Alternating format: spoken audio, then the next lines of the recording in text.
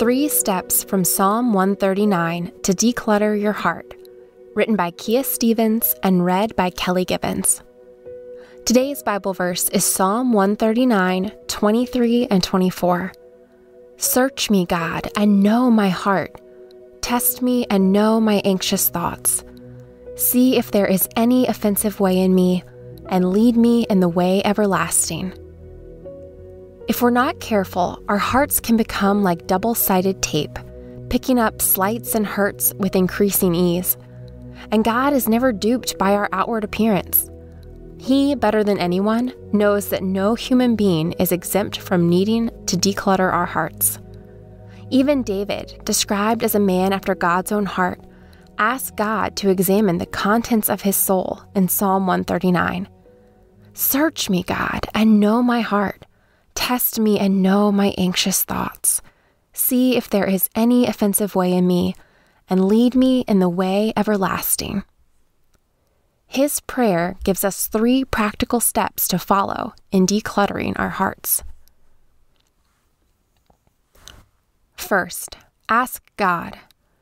David courageously asked God to conduct an internal excavation. This was a brave request considering God knows all things even that which we hide from ourselves. And though the combination of our mind, will, and emotions may look like a long overdue garage sale, he is not hesitant to delve inside. He is not repelled by the complexity of our soul. Fully aware of the sum total of who we are, he delights in us. Step two, listen to God. David not only asked, but was prepared to listen to all that God would reveal to him about his heart. This was evident by his words See if there is an offensive way in me. David wanted to know God's opinion of who he was at his core. If we choose, like David, to declutter our hearts, we need to be prepared for what God has to say about us. He may ask us to part with a piece of ourselves we feel intimately connected to Though it may be difficult, we can rest in the truth that God loves us extravagantly. He is a master heart pruner who purges because he knows it will make us better.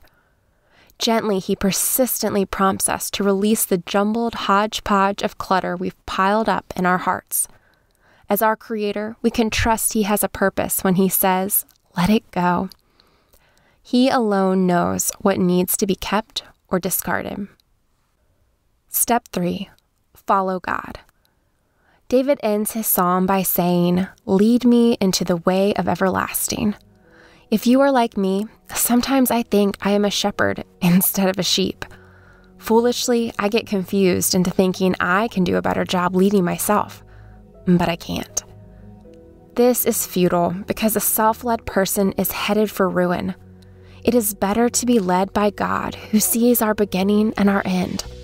If He can speak to the waves and bring peace, then He can speak to our cluttered souls and bring order. We must surrender to Him, believing His infinite understanding of who we are is far superior than our finite perspective.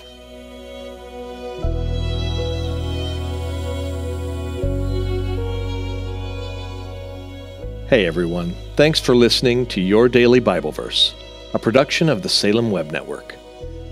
If you enjoyed what you heard today, we'd love for you to head over to iTunes and rate and review our podcast.